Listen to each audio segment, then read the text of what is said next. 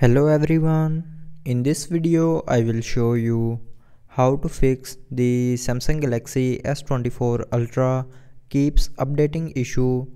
So before starting the video, don't forget to subscribe the channel and also press the bell icon. So to fix this issue, first of all open settings. Now in settings, scroll down and here click on software update.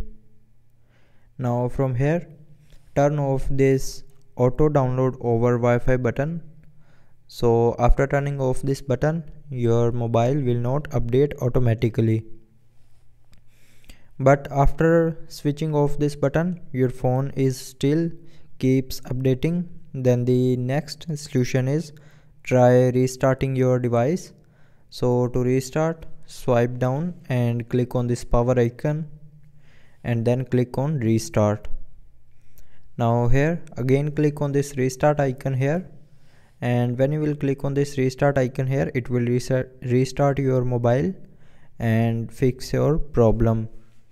But if you are still facing the problem then the last solution is open settings scroll down and here click on general management and then scroll down and click on reset. Now here scroll down and click on reset all settings.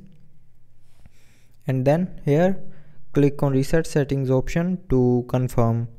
So when you will click on reset settings option here it will reset all your mobile settings but it will not delete any data from your mobile. So i hope it will fix your problem. Thanks for watching